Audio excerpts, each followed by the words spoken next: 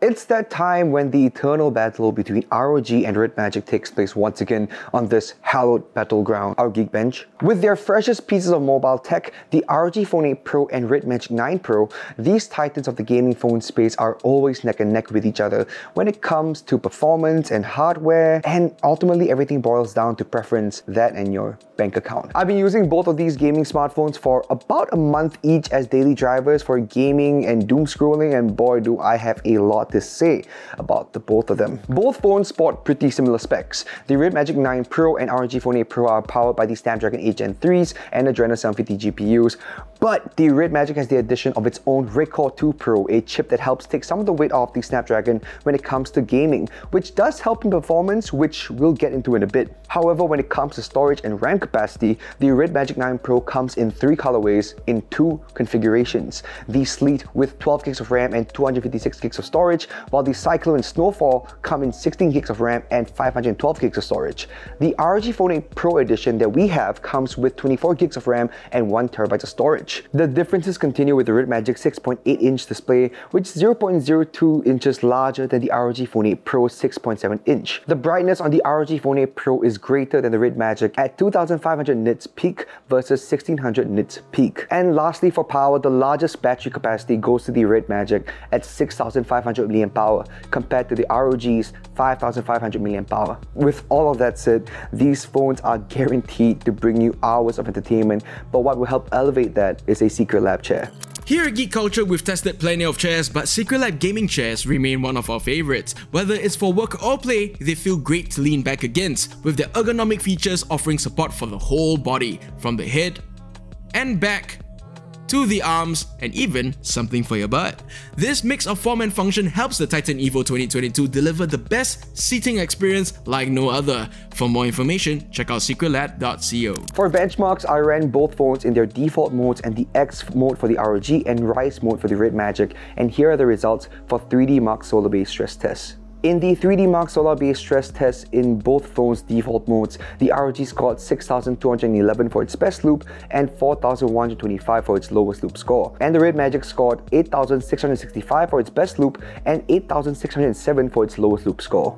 In 3DMark in their X and Rise modes respectively, the ROG scored 8667 for its best loop and 6908 for its lowest loop scores, and the Red Magic scored 8666 for its best loop and 8522 for its lowest loop scores. Interestingly enough, even with a higher RAM count on the ROG, the Red Magic was able to beat out the ROG phone in terms of performance in an intense gaming scenario. That said, however, it heated up like a furnace, hitting temperatures around 44 to 49 degrees Celsius in both default and rise modes. Whereas the ROG was still cool to the touch, with the lowest being 35 degrees and highest around 44 degrees Celsius. However, it still lacks the performance of the Red Magic. The Red Magic is the most stable between the two and we attribute that to the Red Core 2 Pro chip and the results really just speak for themselves. In Geekbench 6, again running both phones in their default and overclocked modes, here are the results. In their default modes, the ROG Phone 8 Pro scored 1355 for its single core and 6537 for its multi-core,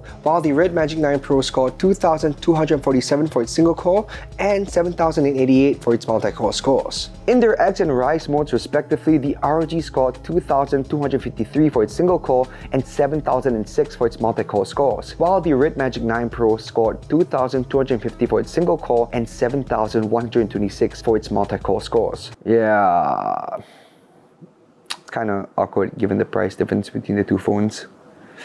And now for the design, they're both very gamer-centric phones with only one of them being slightly more gaming forward so to speak, and that is the Red Magic 9 Pro. Similar to the 8, its back is flat without the camera modules jutting out and the front-facing camera is hidden underneath the screen to utilize the entirety of it while gaming. I say it's gaming forward because Red Magic wants users to hold their phones whilst gaming in the most ideal way possible, and that's with a flat back. For long periods of gaming, especially with phones where a bump is present, we usually get a cover to level out the back and this solves that issue and prevents smudging the camera. But if you want to go Neil deGrasse Tyson and not have a case, and you have that. no case on your phone, no. so you're a risk taker. Right. When you do that, then you never drop your phone.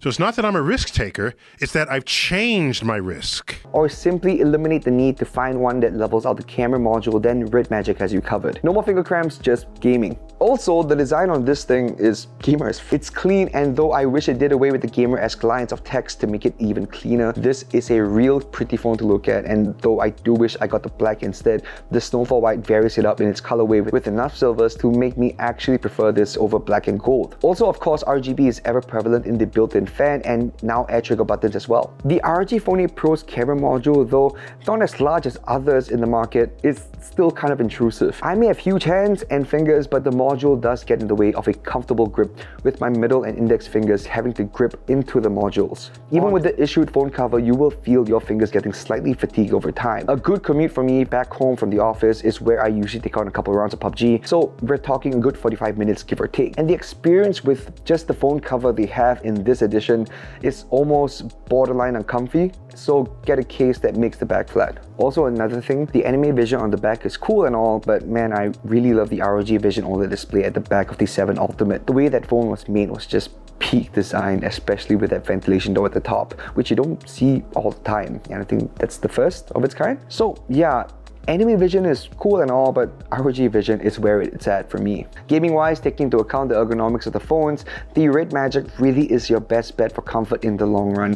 That and its 520Hz triggers. The ROG Phone 8 Pro's triggers are no longer ultrasonic, which is a huge step down for a gaming phone. I find myself either registering inputs when I don't need to and missing inputs when I do, which has become frustrating in critical situations. The Red Magic 9 Pro's triggers are still solid as heck with a lot of options for button input types as usual and are far more responsive than the ROG Phone 8 Pro, which again surprised me. Not saying that the ROG Phone 8 Pro is totally unplayable, but you will need to get used to the phone again for its returning users, which is kind of a bummer. Especially for games like PUBG Mobile and Call of Duty Mobile, where every moment counts, and having an issue with firing or misfiring your weapon could set you back and potentially lose a match. The cameras on both of them are decent ish. A step up from their predecessors, yes, but nothing much to write home about. They aren't exactly iPhone quality, of, of course, which is still the best in class when it comes to mobile phone photography. Here's the same photo taken at one times on all three phones. The Red Magic tends to be warmer while the ROG is a bit more contrasty and cooler, and the iPhone is, well, the, the iPhone. We all know the color science on it is better anyway. Both phones' images are sharpened by default with the Red Magic actually producing slightly more detail than ROG, but in all honesty, you're not here for the photography aspect of the phones, you're here to game. We all know the winner in this situation right here. The numbers don't lie. The Red Magic 9 Pro is the better bang for your buck option and it costs half of what the ROG Phone 8 Pro does, which is it's still insane to me. Like, you've got better performance without having to toggle the overclocking rise mode, and though it may not have the thermal management game that ROG does exceptionally well, I can't further justify getting anything else but the Red Magic. It's fast, it looks cool, it's comfortable to play with, and with 6500 mAh battery, a thousand more than the ROG, you're going to be gaming for a lot longer. So if you have any questions about both of them, type them out in the comment section down below and I'll do my best to get to them. Don't forget to follow us on all of our socials right here to keep up to date with the latest news, which we update stuff every day. And maybe if you haven't already, like this video and maybe subscribe to us. It helps us out a lot.